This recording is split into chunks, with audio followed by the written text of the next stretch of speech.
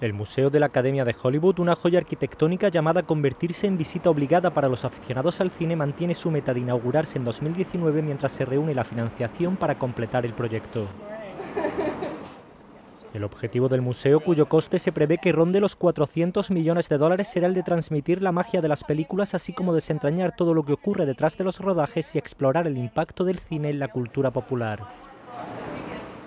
Para ello contará con la incomparable colección de artículos de la Academia de Hollywood que incluye cerca de 12 millones de fotografías, 190.000 artículos procedentes de los rodajes de cintas clásicas del cine, 80.000 guiones, 50.000 pósters y 20.000 diseños y bocetos. Además, una de las principales atracciones del museo estará en la tercera planta donde la Academia permitirá al visitante experimentar cómo es un día en los Oscars. Una vez completado, el museo tendrá 28.000 metros cuadrados repartidos en seis plantas en las que habrá zonas de exposiciones, además de espacios educativos, salas de proyección y foros para eventos especiales.